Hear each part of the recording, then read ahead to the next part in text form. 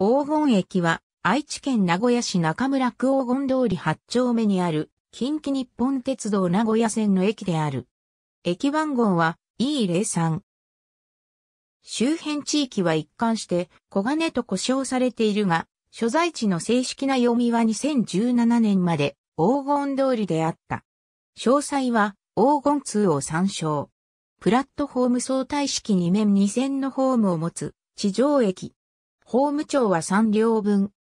駅舎は2番ホーム側に設けられており、反対側の1番ホームへは地下道で連絡している。トイレは2番ホーム上にある。近鉄名古屋駅管理の無人駅で、ピタパアイコカ対応の自動改札機及び自動生産機が設置されている。黄金駅の利用状況の変遷を下表に示す。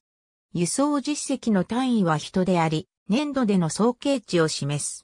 年度間の比較に適したデータである。上皇人員調査結果は、任意の1日における値である。調査日の天候、行事等の要因によって変動が大きいので、年度間の比較には注意を要する。表中、最高値を赤色で、最高値を記録した年度以降の最低値を青色で、最高値を記録した年度以前の最低値を緑色で表記している。